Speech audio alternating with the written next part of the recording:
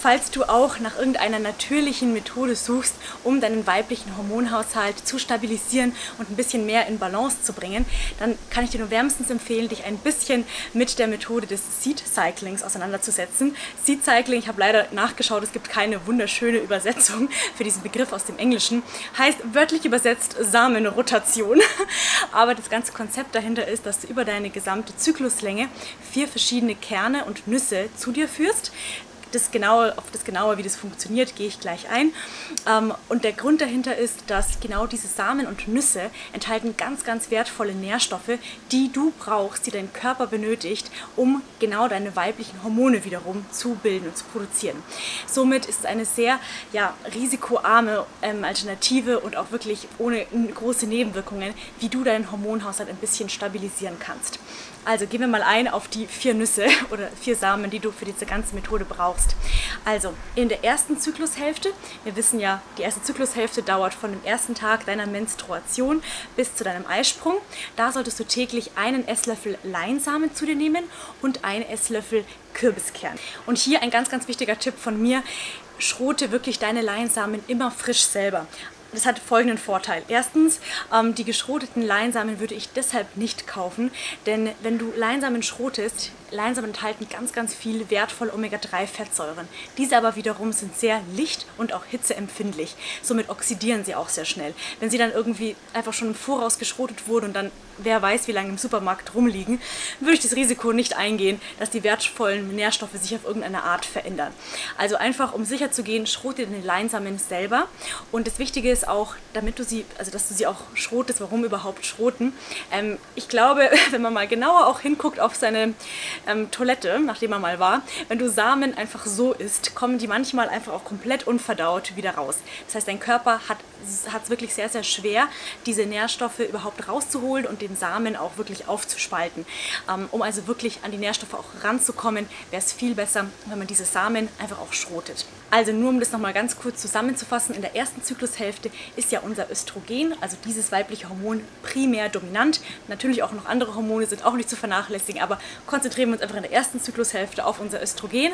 Dafür nehmen wir dann Leinsamen und Kürbiskerne zu uns und in der zweiten Zyklushälfte, das heißt vom Eisprung bis zum ersten Tag der Menstruation, da ist dann das dominante Hormon des Progesteron und damit wir das unterstützen, sollten wir jeden Tag einen Esslöffel Sesam zu uns nehmen und einen Esslöffel Sonnenblumenkerne. Und beim Sesam die gleiche Geschichte wieder wie bei den Leinsamen. Am besten diese Samen wirklich nochmal schroten, denn ansonsten hat unser Verdauungsapparat wirklich eine harte Zeit, an die Nährstoffe wirklich ranzukommen und den Sesam aufzuspalten. Also einfach auch da wieder frisch schroten. So, und wie kannst du jetzt halt diese ganzen Nüsse einbauen, denkst du dir? Ich kann doch jetzt nicht die ganze Zeit irgendwie Nüsse snacken. Also ich habe jetzt ein paar Ideen für dich, wie du das in einem Alltag integrierst. Ich mache das persönlich immer so und empfehle es auch genauso meinen Kunden. Methode natürlich Nummer eins. Das Einfachste, wenn du dir jeden Tag eh zum Frühstück irgendeine Art von Smoothie machst, natürlich direkt reinhauen. Da kannst du dir sogar den Schrotschritt sparen, weil ja, im Mixer wird das ja eh alles püriert. Oder eben zum Frühstück die zweite Alternative, die ja eh sowieso sehr viele zu sich nehmen, sind ja so eine Art von Overnight Oats oder Porridge oder Müsli. Da haut ihr euch einfach auch die jeweiligen Samen, die ihr halt am Tag essen solltet, einfach gleich mit dazu. Falls das Frühstück natürlich mal flach fällt, könnt ihr das Ganze auch einfach über euren Salat drüber streuen. Natürlich snacken geht auch immer. Ansonsten kann ich auch wärmstens empfehlen, wenn euch irgendwelche Soßen oder Dips zubereitet, mixt euch die Soße so, dass ihr die Samen da auch mit dazu tun könnt. Und bei Sesam habe ich noch einen extra Tipp für euch euch. Und zwar gibt es ja, ihr kennt vielleicht Tahini. Tahini ist einfach nur eine Sesampaste. Das ist super lecker, auch zusammen mit Hummus und wird auch ähm, in, der, in der Küche oft eingesetzt. Jetzt eher, glaube ich, im orientalischen Raum, wenn mich nicht alles täuscht. Aber das ist auch eine tolle Möglichkeit, quasi diesen ganzen Sesam irgendwie mit reinzukriegen. Also kauft euch auf jeden Fall mal auch Tahini und probiert das mal aus. Und natürlich die große Frage, was mache ich, wenn ich unterwegs bin auf Reisen? Dann kann ich auch nur wärmstens empfehlen, macht euch einfach mal so Energieriegel selber, so, so kleine Energy Balls. Ich habe dazu mal vor langer Zeit auch ein YouTube-Video hochgeladen, wie man Energieriegel selber macht. Kann ich euch gerne unten in der Infobox nochmal verlinken oder in der Infokarte.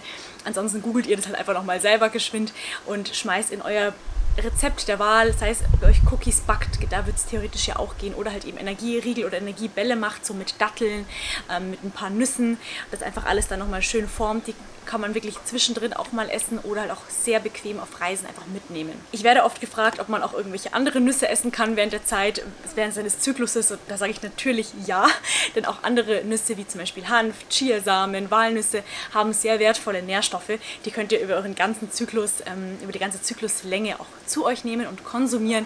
Da müsst ihr keine Angst haben und es ist auch egal, in welcher Phase ihr euch befindet. Ähm, dieses Seed Cycling an sich, seht es auch wirklich nicht als strikte Regel, oh Gott, nur bis zum Eisprung darf ich jetzt halt irgendwie meine Leinsamen essen. Das ist einfach auch eine tolle Praktik, finde ich, um ein bisschen in dieses rhythmische Leben reinzukommen, um die Achtsamkeit zu schulen für seinen eigenen Körper und sich immer wieder zu erinnern, auch täglich, ah, in welcher Phase befinde ich mich gerade, was braucht mein Körper gerade ähm, man soll sich darauf nicht aufhängen. Wenn es auch mal nicht klappt mit der Umsetzung auf Reisen oder so, macht es euch da wirklich nicht verrückt. Es ist einfach nur ein kleiner Tool, um euren, also um euren Stoffwechsel, um eure Hormonbildung gezielt zu unterstützen. Ich möchte jetzt noch abschließend sagen, dass diese Methode noch nicht wissenschaftlich bestätigt wurde. Das heißt, es wurden leider noch keine Studien dazu durchgeführt, ob diese Methode 100% auch effektiv ist. Ähm, ich kann es trotzdem nur berichten aus den positiven Erfahrungen, die ich jetzt damit gemacht habe, persönlich, aber auch mit meinen Kunden. Und diese Methode wird an sich halt Naturheilkunde schon seit längerer Zeit praktiziert. Aber wie gesagt, die offizielle Wissenschaft hat diese Methode noch nicht belegt. Das muss man einfach an der Stelle fairerweise auch noch dazu sagen. Und die abschließende Frage natürlich, wie lange muss ich dann denn dranbleiben an diesem Seed Cycling, um erste Erfolge für mich festzustellen? Ich kann nur wärmstens empfehlen, wirklich zwei bis drei Monate des Seed Cycling mal zu praktizieren.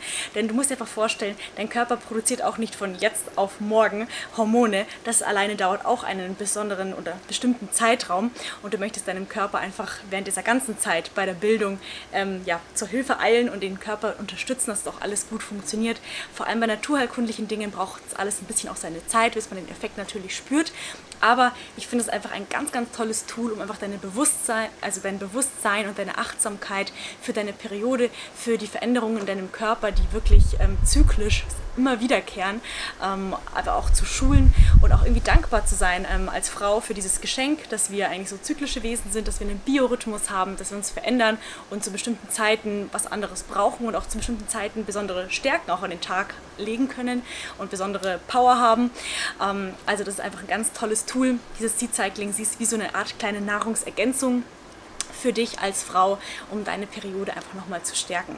Ähm, das finde ich ist meines Erachtens wirklich das, das, allergrößte Geschenk, was ich davon mitgenommen habe, ähm, aus dieser ganzen Praktik mit diesem Seed Cycling. Ich hoffe, es hilft dir auch und wenn dir irgendwelche Ideen einfallen, wie du dieses Seed Cycling in deinen Alltag integrierst, ähm, was ich noch nicht erwähnt habe, was du aber ganz, ganz cool findest und mit den Leuten teilen möchtest, hab wirklich keine Scheu. Lass es uns alle gerne in den Kommentaren wissen.